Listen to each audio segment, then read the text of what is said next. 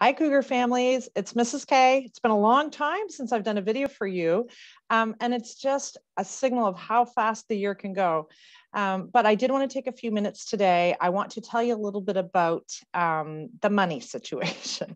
Um, and the reason is that our kids will tell us, and sometimes parents too, education is paid for. Why does the school need to ask us for money?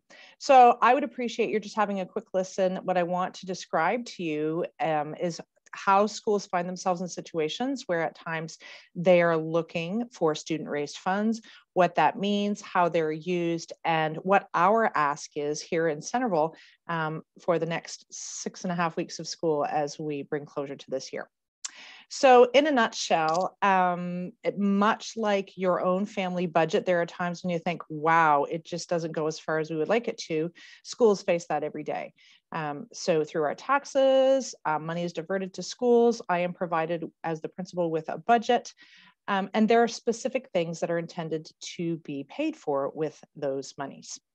A lot of those monies are about instructional materials, books, paper, um, internet subscriptions, um, tools, things that we use to make things in class, um, all those instructional needs. And then there are also some other categories of various types and descriptions of expenses that we just know are going to happen in schools. And much like my family budget feels right now, oftentimes there doesn't feel like there's a lot of room for extras. So there's another whole category of monies um, for which schools are responsible. And we put it under the large umbrella called student raised funds. And student raised funds are basically all the monies that come into the school, not through the province, but in other ways, and primarily from our school communities, be it donations, um, be it fees that students pay, including, for example, a student fee or user fees, um, and through fundraising. So those are the three largest um, pieces of what are called student raised funds.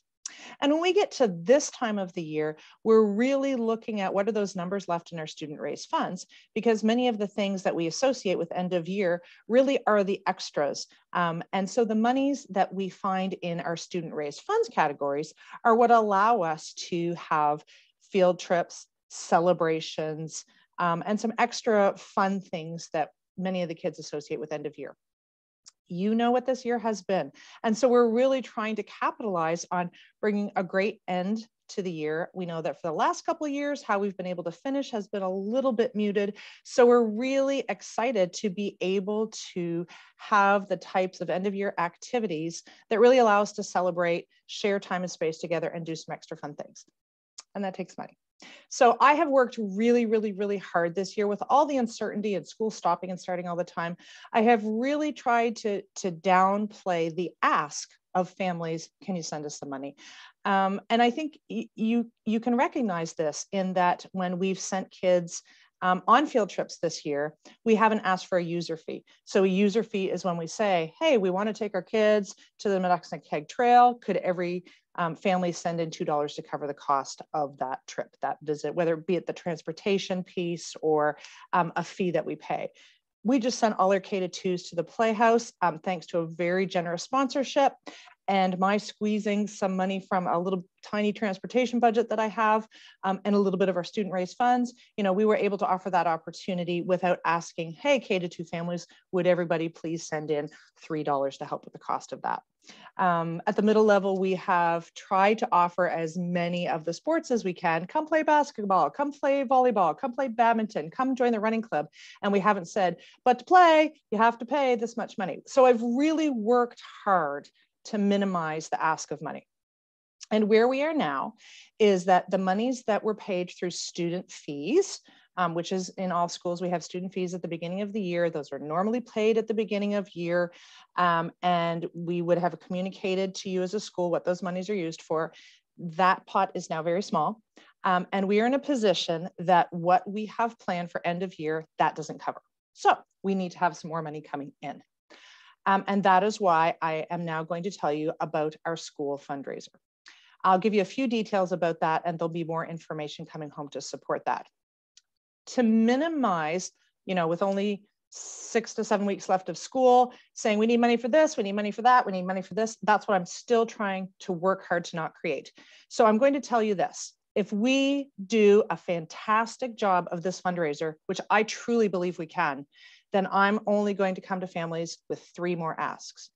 Would you please really participate in our school fundraiser? And I think once I give you the details, you'll understand it's something that families can do. Um, would you please consider having your child share information about the jump rope for heart because we've done that annually. It's been a really important thing at the school. Some of your children um, came home today, which is Thursday, May 12th, with that information, and some are coming home tomorrow. That's just been an annual event here that many of you already sponsor.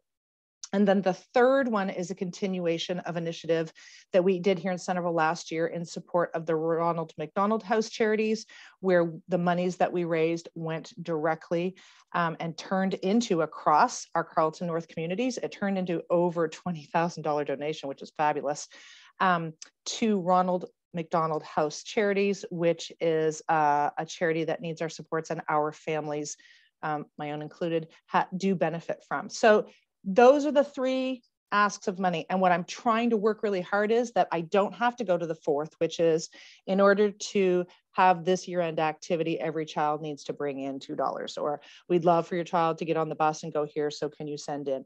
If we do a bang up job on this fundraiser, then we don't need that, right? So what am I talking about?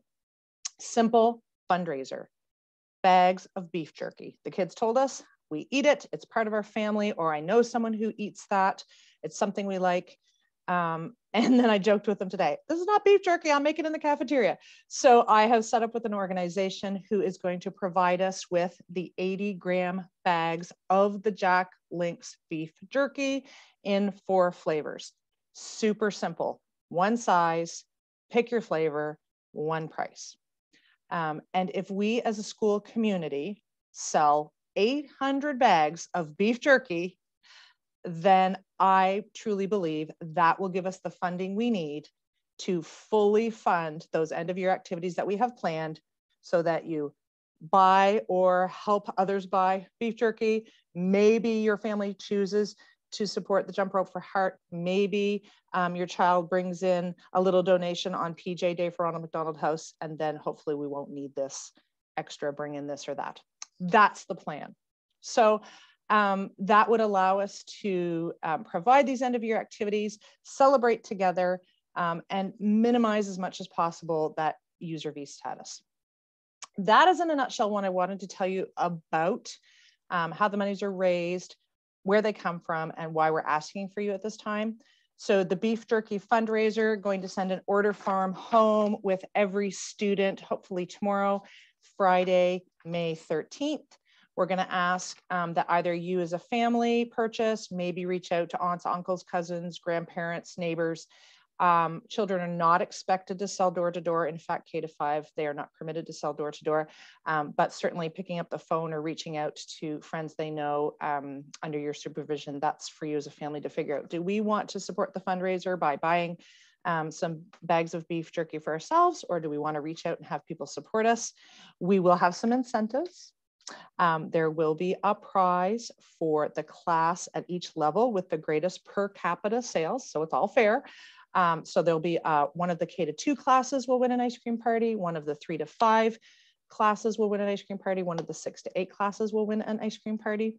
And uh, yet to be determined is the individual incentive, what the prize will be for the top salesperson in each class. So hopefully that'll get them um, out and selling. Um, 800 bags of beef jerky, this is totally doable.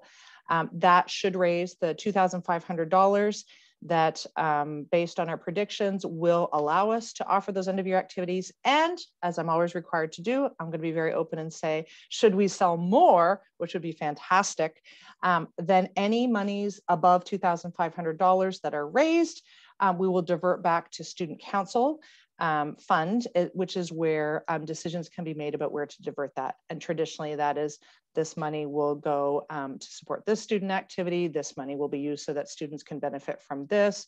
This can be used. And just to give you some examples, um, some of the student council funding, uh, student council monies this year, we, um, you know, we're purchasing sand toys um, for K to two kids. We have paid refs um, in our middle school sports. We, the three to fives, have um, had some additional playground equipment. Um, th those are just off the top of my head, but there's lots of things that we do to support student activity and opportunity um, with those student raised funds here at the school. So if for whatever reason we exceed our goal, which would be fantastic, it just means less fundraising and fewer user fees going forward. As always, please don't hesitate to give me a call um, or an email is even better because I'm usually not sitting here at the other end of the phone. Uh, fundraiser information will come home. We will sell from May 13th to May 27th. All these forms come in. That allows me to place the bulk order. Um, and then we expect that that would arrive the week of June 13th so that every student would go back with their order form and share the beef jerky um, with those that had ordered through them.